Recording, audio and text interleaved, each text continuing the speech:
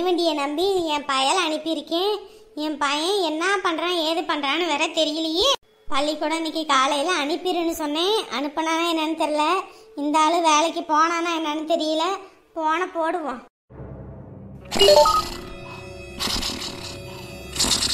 Phone அடிச்சுக்கிட்டே இருக்கேன். எடுக்காம என்ன பண்ணிக்கிட்டு இருக்கான்னு தெரியலையே. மனுஷன நிம்மதியா தூங்க வேணாம். அடிச்சுக்கிட்டு. ஐயே தலைவலிக்குதுன்னு பார்த்தா இந்த புசுபாண்டி தலையில தலைவாணி மை வச்சு படுத்திருக்கானே. தலைவாணி அங்கிட்டு இல்லையா இவன? யாரு போனுல பாத்தி அமுதாதான் போன் பண்றா. ஐயோ இந்நேரம் ஆனது கூட தெரியாம நான் பாட்டு குரட்டை விட்டு தூங்கிட்டனே. இவ வேற போன் அடிச்சு திட்டுவாளே. சரி எதையோ ஒண்ணு சொல்லி சமாளிப்போம். Hello Amudha darling? டார்லிங் நீ எவ்வளவு அன்பா பேசுறேன் ஏதோ ஒரு நாய் மாதிரி வல்லு வல்லு வல்லுன்னு குறைக்கிறத பாரு. ஹலோ எமாடி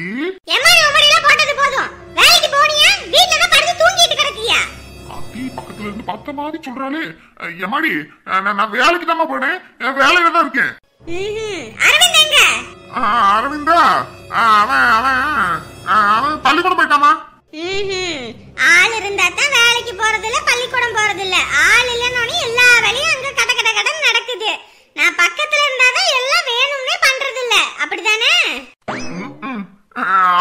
ஒண்ணும் இல்லம்மா நீ சொல்லியிருக்கல ஒரு அப்பாவா கெத்தா இருக்கணும் அப்பதான் பையன் பயப்படுவானு. அதனால நான் மிரட்டி உரட்டி பள்ளிக்கூடம் போனது சோறுன்னு சொல்லிவிட்டேன். அதனால பள்ளிக்கூடத்துக்கு அனுப்பி போயிட்டாமா? சரி சரி.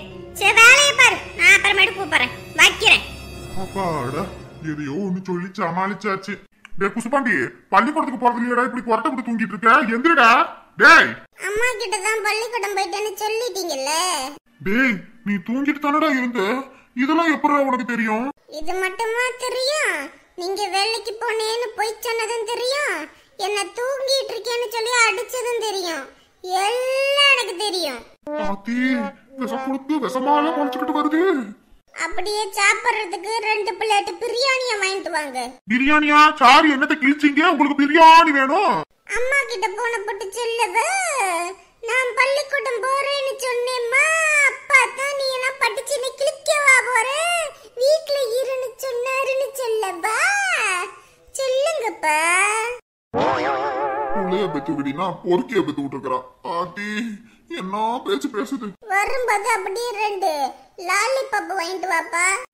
பப்பு தானே? வாங்கிட்டு வந்தா போச்சு. வாங்கிட்டு வரலன்னா தம்பா அம்மாவுக்கு பொண்ணே போவும்.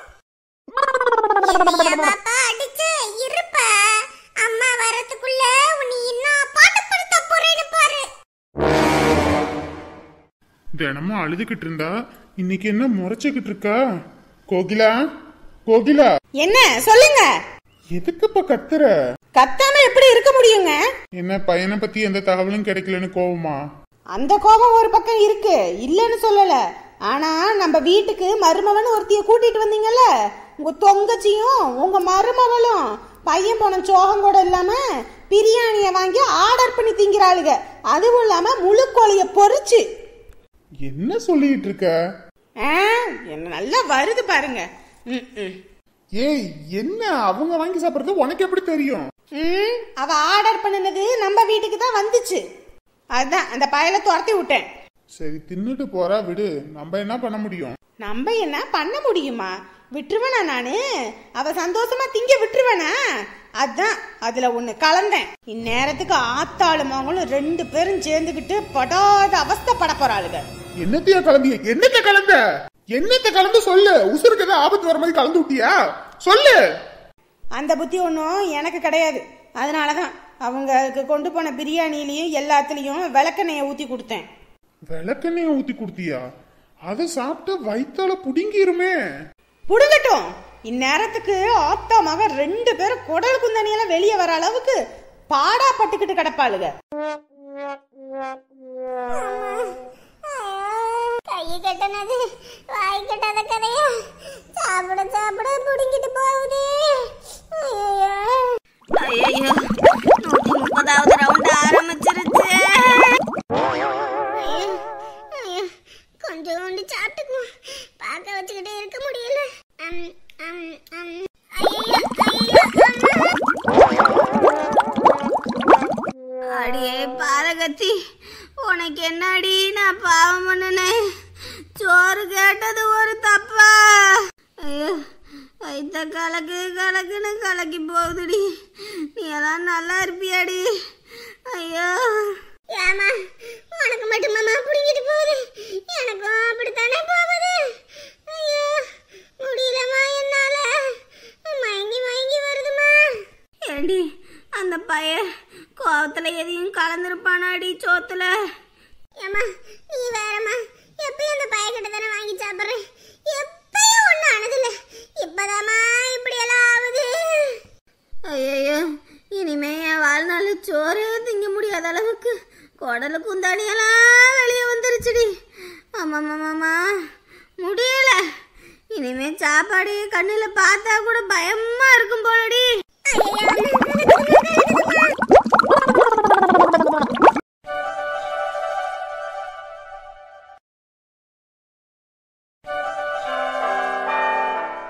பையன் வேற தூங்கிட்டு இருக்கான். போன் வேற அடிச்சிட்டு கிடக்கு.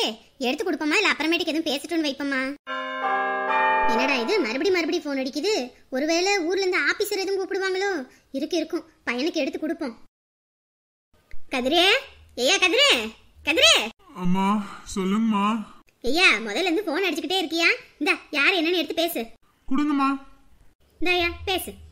அட கண்மணி தான் ஃபோன் பண்ணி இருக்காங்க என்னன்னு தெரியலையே. ஹலோ கண்மணி? சார் ரொம்ப பிஸியா இருக்கீங்களா?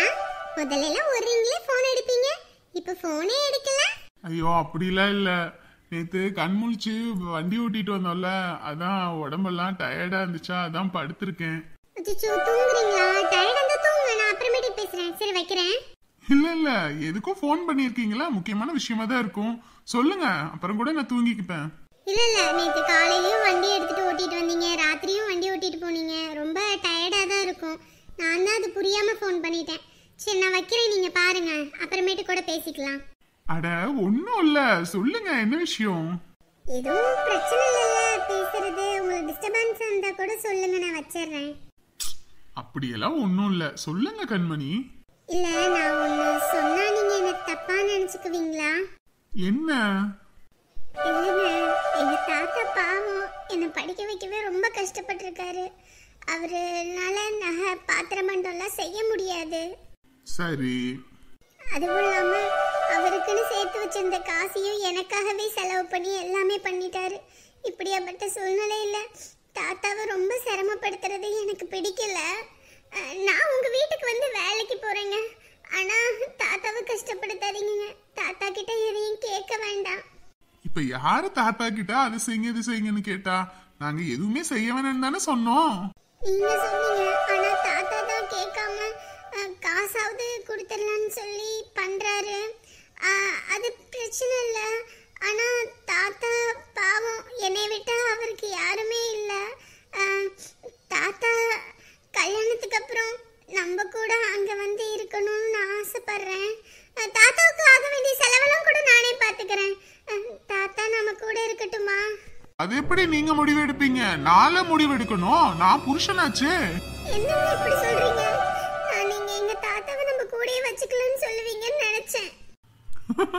கண்மணி எங்களுக்கு சொந்த பந்தன்னு யாருமே கிடையாது. எனக்கு அம்மா அம்மாவுக்கு நான் அவ்வளவுதான். இதை தவிர்த்து எங்களுக்கு சொந்த பந்தம்னா இங்க பக்கத்துல இருக்கவங்க தான். உங்க தாத்தாவை அப்படியே தனியே தவிக்க விட்டுருவோனா இனிமே அவர் உங்க தாத்தா கிடையாது நம்ம தாத்தா நம்ம கூட தான் இருக்கணும் சரியா? நம்ம வீடு இங்க சின்ன வீடு தான் இருந்தாலும் இருக்கிறத வச்சு நம்ம எல்லாருமே சந்தோஷமா இருக்கலாம் சரியா? அதுவும் இல்லாம தாத்தா இங்க காசு கொடுக்கணும் இங்க சீர்முறை செய்யணும் அப்படின்ற எந்த அவசியமும் கிடையாது. அம்மாவும் எதுவும் கேட்க மாட்டாங்க நானும் எதுவும் கேட்க மாட்டேன். சரிங்களா?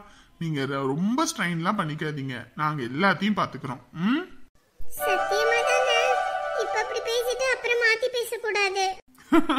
என்னை புரிஞ்சுக்கிட்டது நீங்க அவ்வளவுதானா? என்ன இப்படி பேசுறீங்க? நான் அதெல்லாம் எதையுமே யோசிக்கல. தாத்தா நம்ம கூடயே இருக்கட்டும். தாத்தா உங்களுக்கு எதுவும் செய்யணுன்ற அவசியம் இல்ல. என் மனைவிக்கு எனக்கு செய்ய தெரியும். சரியா? ஓ இப்பதான் நீங்க மிஸ் பண்றீங்களா? இன்ன வரைக்கும் மிஸ் பண்ணல. அப்படிதானே? ஹலோ ஹலோ போன வச்சாச்சா? என்னப்பா யார் ஃபோன் பண்ணது? எல்லாம் உங்க மருமாவை தான் கண்மணி தான் ஃபோன் பண்ணிச்சா? நான் யாரும் என்ன நினச்சேன் இப்படி இருந்தால் நானே எடுத்து பேசியிருப்பேன். நீ போன நம்பர் வேறு இங்கிலீஷில் போட்டு வச்சிருக்கியா? எனக்கு என்னன்னு தெரியல. என்னவாமா என் மருமக என்ன சொன்னா? தாத்தாவை நம்ம கூடயே வச்சுக்கணுமா? தாத்தா ரொம்ப கஷ்டப்பட்டாரு எனக்காக. அவர்கிட்ட எதுவும் கேட்காதீங்க. நான் வேலைக்கு போய் தாத்தாவுக்கு செலவெல்லாம் பார்த்துக்கிறேன் அப்படின்னு சொல்கிறாங்க நமக்குன்னு சொந்த பந்தனி யாருடா இருக்கா? இனிமே கண்மணி நமக்கு சொந்தம். கண்மணியோட தாத்தா மட்டும் யாரு? நம்ம கூட. ஆக்குற கஞ்சில ஒரு கஞ்சி அவர் குடிச்சிட்டு போறாரு. சும்மா அவருக்கு என்ன தனியா வச்சு ஆக்க போறோம்? அதெல்லாம் நம்ம கூடயே இருக்கட்டும். அவங்க நமக்கு எதுவும் செய்யணுன்ற அவசியமும் கிடையாது. எனக்கு பொம்பளை பிள்ளை இல்ல. ஆனா பொம்பளை பிள்ளைனா எனக்கு ரொம்ப உசுரு என் மவளை நான் நல்லா பாத்துப்பேன் நீ எதை பத்தி யோசிக்காத. சரியா? மருமக கிட்ட நான் அப்புறமேட்டுக்கு பேசிக்கிறேன். சரிம்மா. ஏங்க? ஏங்க? ஏங்க வீட்ல இருக்கீங்களா? யாரா இருக்கும்?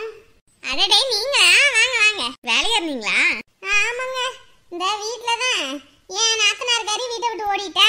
அதனால ஊருப்பட்ட வேலைங்க. அதெல்லாம் பார்க்கணும் வைக்கணுன்றதுக்கே நேரம் சரியா போயிடுது. என்னங்க பழம் கொண்டு வந்தேன். ஓ ஊட்டியில உங்க சம்மந்தில கொடுத்தாங்களே அதுவா? ஆமாங்க அப்ப கொடுப்போம்னு பார்த்தா அப்புறம் நீங்க தான் வழியில வீட்டுக்கு வராம இறங்கிட்டீங்க. அதான் இப்ப கொண்டு வந்து கொடுப்போம்ட்டு வந்தேன். சரி சரி. மருமக ஃபோன் பண்ணாலா ஆ ஃபோன் பண்ணாங்க. என்னவாமா என்ன சொன்னாங்க? அதான் அவங்க தாத்தாவால எந்த சீசனத்தில செய்ய முடியாது. பாவம். எனக்காக கஷ்டப்பட்டு எல்லாமே பண்ணியிருக்காரு. அவரை கஷ்டப்படுத்தாதீங்க. நான் வேலைக்கு போறேன். அதுவும் இல்லாம தாத்தாவை நான் தனியா விட்டுட்டு வர முடியாது. அவரும் கல்யாணத்துக்கு அப்புறம் நம்ம கூட தான் இருக்கணும் அப்படின்னு சொன்னாலாம். அப்படியா? பரவாயில்லையே. பிறந்த வீட்டையும் விட்டு கொடுக்காம புகுந்த வீட்டையும் விட்டு கொடுக்காம இருக்கணும்னு நினைக்கிறாளே. இதுவே பெரிய விஷயமாச்சே. எங்க வீட்லயும் ஒண்ணு இருக்குது. தண்டத்துக்கு அதெல்லாம் எதுக்கு இருந்துச்சுன்னே தெரியல. அதனாலதான் வீட்டை விட்டு அடிச்சு துரத்திட்டாங்க. ஐயோ ஏன் அப்படி சொல்றீங்க? சரி அத பத்தி எதுக்கு இப்ப பேச்சு? நீங்க என்ன சொன்னீங்க அதுக்கு? நம்ம சொன்னது தானே. ஒரு குண்டுமணி தங்க கூட நீங்க போட வேணாம். நாங்க இப்ப வீடு கட்டிக்கிட்டு இருக்கோம். வீடு கட்டி முடிச்சோடனே நாங்க என் மருமகளுக்கு வாங்கி போடுறோம் அப்படின்னு சொல்லிட்டோம். என்ன பண்றாங்களோ? அப்ப நீங்க மருமகளுக்கு எதுவும் போடலையா இப்போ? எங்கம்மா மடியில கையில எதுவும் இல்ல. எதையும் வைக்கிறதுக்கும் முடியாது. இப்பதான் வீட்டை கட்டிக்கிட்டு இருக்கோம். பொறுமையா பார்த்து பண்ணிடுறது. ஓ சரி சரி. சரி வீட்ல எனக்கு வேலை இருக்கு. நான் வரேன். ஆ போயிட்டு வாங்க. பரவாயில்ல இவங்க காசு பணத்துக்கெல்லாம் ஆசைப்படுறது இல்ல. வர மருமகளுக்கும் கஷ்டம் கொடுக்க கூடாதுன்னு நினைக்கிறாங்க. இந்த குணத்துக்கே இவங்களுக்கு எம்பிட்டு வேணாலும் செய்யலாம். பையன் ஆர்மியில வேலை செய்யறான் அதை போடுங்க இதை போடுங்கன்னு கேட்காம எதுவுமே வேணான்னு சொல்றாங்க. சொல்லுமா? ஒரு மூணு பவுன்ல தாலி கொடி ஒண்ணு எடுத்துட்டு வாங்க. என்னம்மா தாலி குடியா? உனக்கு தான் இருக்கேம்மா இதையா இருக்கு? அதெல்லாம் இல்லம்மா யாருக்குன்னு கேட்டேன்.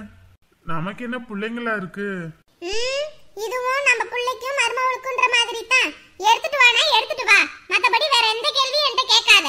ஆ சரிம்மா. ஆ எடுத்துட்டு வரேன். ம் நம்மளே பத்து ரூபா கேட்டோம்னா கூட அதுக்கு கணக்கு வேணும் இதுக்கு கணக்கு வேணும்னு வா. இப்ப எதுக்கு இவ திடீர்னு மூணு பவுன்ல தாலி கொடி கேக்குறா? யாருக்கா இருக்கும்? அதுலயும் வேற எடுத்துட்டு வான்னு சொல்றா. இவளை புரிஞ்சுக்கவே முடியலையே. நேற்று நான் வாரேன்னு சொன்னேன் வரக்கூடாதுன்னா. இன்னைக்கு வான்னு சொல்றா என்ன? சரி சொல்ற மாதிரி எடுத்துட்டு போவோம். இல்லைன்னா அதுக்கும் வேற வாழ் வாழ்னு கத்துவா. எனக்கு இப்படி தோணுது. அந்த பிள்ளைக்கும் அந்த பையனுக்கும் ஏதாவது செய்யணும்னு. ம், சரி நமக்கு என்ன பிள்ளையா குட்டியா? இந்த மாதிரி யாருக்காவது எடுத்து கொடுத்து அதுலயாவது சந்தோஷத்தை பார்ப்போமே. ஹலோ ஃப்ரெண்ட்ஸ் அண்ட் ஃபேமிலி எல்லாரும் எப்படி இருக்கீங்க? நிச்சயம் எல்லாரும் நலமா இருப்பீங்க. நம்புறோம் நம்மளோட வீடியோ உங்களுக்கு பிடிச்சிருந்துச்சுன்னா மறக்காம லைக் பட்டனை தட்டி விடுங்க. இந்த வீடியோ உங்க ஃப்ரெண்ட்ஸ் அண்ட் ஃபேமிலியும் பார்க்கணும்னா மறக்காம ஷேர் பண்ணிடுங்க. சொந்தம் தொடர மறக்காம சப்ஸ்கிரைப் பண்ணிடுங்க. இன்று பிறந்தநாள் கொண்டாடுவோம். தனலட்சுமி லாசியா முரளி இவர்களுக்கு வாழ்த்துக்கள் சொல்வது சாரதா. இவர்கள் அனைவரும் நீடூடி வாழணும் நான் கடவுள்கிட்ட பிரார்த்தனை பண்ணிக்கிறேன்.